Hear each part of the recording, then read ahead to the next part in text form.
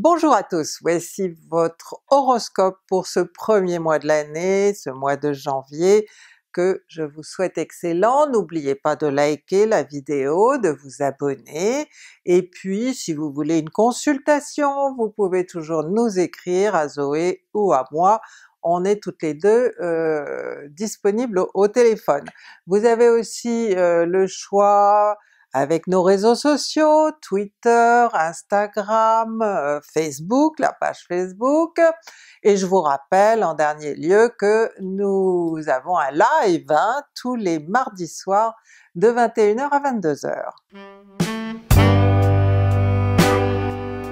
Verseau et ascendant Verseau dans votre horoscope de ce mois de janvier, eh bien c'est le Capricorne qui domine, en tout cas dans la première euh, partie du mois jusqu'au 20, hein, après c'est vous. Mais euh, pour l'instant c'est le Capricorne, donc c'est votre secteur 12. C'est un secteur quand même très mystérieux, euh, qui est difficile à interpréter parce que c'est un secteur euh, d'ombre, on ne sait pas trop, il y a du mystère, il y a du brouillard, enfin bon c'est pas un, secteur d'action, hein, vraiment pas. Heureusement que vous, on va voir que Mars vous donne de l'énergie, mais c'est pas le soleil en Capricorne qui va vous donner de l'énergie, en tout cas pas pour vous. Hein. Alors peut-être que vous vous occuperez des autres, que vous serez euh, très euh, euh, dans un besoin de, rendre service, de, soigner, hein. souvent avec les planètes en 12 on a tendance à vouloir soigner les autres, moralement ou physiquement. Hein. Euh, donc euh, bon, euh, en plus de ça, il y a un côté aussi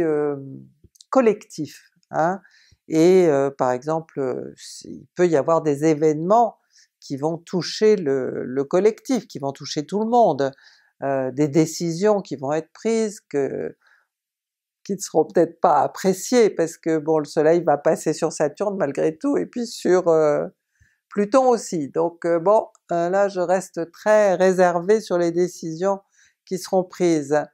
Après le 20, bon anniversaire à tous, au premier décan en particulier, puisque c'est vous qui allez euh, être au premier plan. malheureusement, le soleil va être en dissonance tout de suite, hein, pour ceux qui sont nés là les, les 3-4 premiers jours du signe, euh, avec Uranus et ça va répéter hein, une situation que vous connaissez bien, situation un peu anxiogène, un petit peu euh, euh, où, vous savez pas où vous allez, votre avenir n'est pas aussi joyeux que vous le voudriez, mais c'est en train de se terminer, vous avez, déjà payé assez cher, hein, c'était depuis deux ans hein, à peu près, donc euh, l'aspect se termine là, euh, bon, euh, au mois de mars, ça va être autour du deuxième décan. On en vient à Mercure, votre planète du travail, de la vie quotidienne, des petites choses de la vie quotidienne, des relations avec votre entourage, vos collègues, etc. Mercure va être en Capricorne, hein. elle est à côté du soleil jusqu'au 17, et donc ça va être la même ambiance hein, au niveau de vos relations avec vos collègues, peut-être vous vous sentirez un peu seul pendant cette période, hein. il, y a, y a, un peu une notion d'isolement avec Mercure euh, en Capricorne, alors peut-être que vous aurez un travail qui va vous isoler des autres, hein, c'est possible, que vous soyez obligé de vous concentrer sur quelque chose et, que ça vous isole des autres. Mais attention, hein, avec le soleil et Mercure en Capricorne, il peut y avoir aussi un petit peu de distraction, hein? c'est-à-dire que vous pouvez vous prendre les pieds dans le tapis, rater la marche, vous voyez ce genre de truc un peu idiot, parce qu'on est distrait, on a la tête en l'air, bon, on va vous dire, moi ça m'arrive tout le temps, hein, mais bon, moi je suis un peu professeur tournesol, hein. donc attention tout simplement à ce côté distraction avec Mercure en Capricorne. Et puis Mercure va rentrer en Verseau le 17, c'est-à-dire qu'elle va rejoindre elle va précéder même le soleil de trois jours et faire donc le même aspect de dissonance avec Uranus que va faire le soleil, donc bon, ça va être, ah, je veux dire ça va pas être quelque chose de différent, hein, ça va être la, même problématique que vous allez peut-être penser différemment, à laquelle vous allez réfléchir avec quelqu'un, parce que les solutions ne sont pas loin, la fin n'est pas loin, je vous l'ai dit, euh, donc euh, bon, si quelqu'un vous donne des conseils, si vous en parlez avec une personne de confiance, surtout écoutez bien ce qu'il ou elle va vous dire, parce que vous avez tendance, bon, à demander des conseils, mais à n'en faire qu'à votre tête, hein. Dans le Verseau, euh, bon, pour le faire bouger, le faire changer d'avis, c'est un petit peu difficile. Donc essayez quand même d'écouter les conseils qu'on vous donnera. On en arrive à Vénus, et Vénus elle commence l'année chez vous, hein, mais elle est déjà euh, bien, bien, elle a bien entamé son parcours dans votre signe puisque elle, elle, en est au milieu, hein, donc euh, euh, disons que jusqu'au 13, elle ne fait aucune dissonance et que donc vous allez être bien bien dans votre peau, bien avec vous-même, ce qui n'est pas toujours le cas parce que vous vous aimez pas toujours, hein vous vous sentirez peut-être aimé, vous vous trouverez pas mal quand vous vous regarderez dans la glace, enfin il y aura, vous voyez des moments comme ça où vous, vous serez bien, et bon, alors pourquoi pas, il n'est pas exclu que vous fassiez une rencontre hein, quand même, c'est pas du tout exclu, dans la mesure où quand Vénus est conjointe au soleil, elle est quand même assez forte. Hein, donc si vous faites une rencontre, un petit conseil, ne vous emballez pas, ne vous précipitez pas, hein, on sait que Mars est en Sagittaire et que donc il y a possibilité d'emballement. Hein. Prenez votre temps, hein, on n'est pas aux pièces, donc prenez le temps de, de rencontrer l'autre et de le connaître avant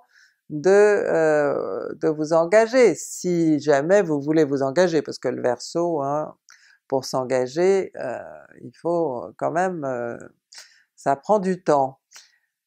À partir du 13, Vénus sera en Poisson, et bon, je pense que ce sera mieux même pour vous que Vénus en, dans, votre, dans votre signe, parce que d'abord en Poisson elle est très forte, et ensuite elle va être dans un secteur qui correspond à vos besoins, besoin d'amour, besoin de caresses, besoin de tendresse, etc. Besoin d'argent aussi. Hein? Euh, bon, alors elle peut effectivement être généreuse sur le plan financier, ça n'est pas exclu, mais elle va être également généreuse euh, si vous avez euh, besoin qu'on vous manifeste de la tendresse, de l'amour,